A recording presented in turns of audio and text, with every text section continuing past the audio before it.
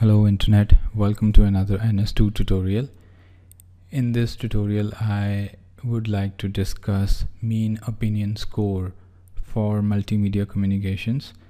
This is one of the performance parameters which is very easy to comprehend for a layman. Uh, I've got a table here now if you look at this table we have defined a scale uh, from 1 to 5 where 5 um, represent excellent imperceptible uh, which means that the video received is very very good and uh, where 1 represents that the reception is poor and it's annoying and it's not acceptable at all. Now how do we get this scale uh, from from a parameter which we can evaluate?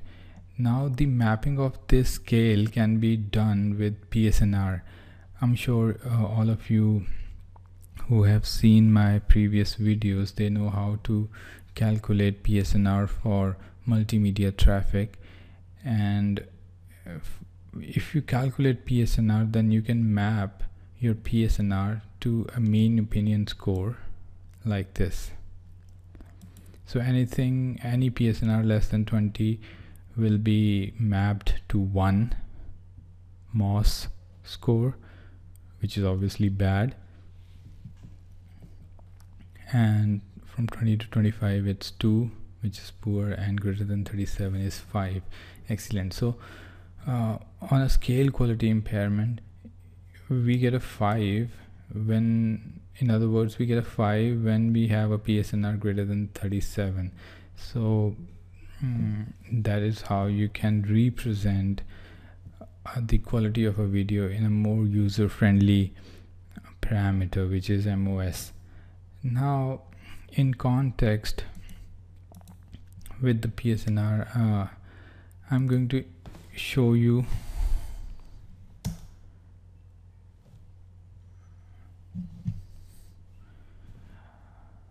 Alright I've got hmm, a scenario for a wireless multicast um, multimedia propagation. I've taken this from uh, the small course website. Now if in this scenario I calculate PSNR it comes out to be 28.5057 and so on and so forth. Mm. and what I'll do is I'll note down this value here and I'll map it to this. So this is pretty fair. This is a fair value of video reception now if I go back to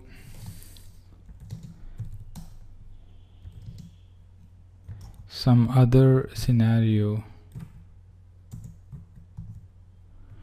and I calculate PSNR there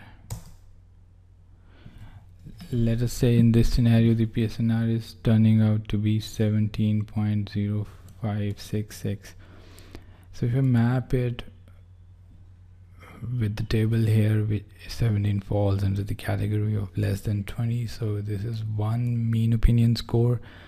And if I check the description of one and it says it's bad and the reception is very annoying.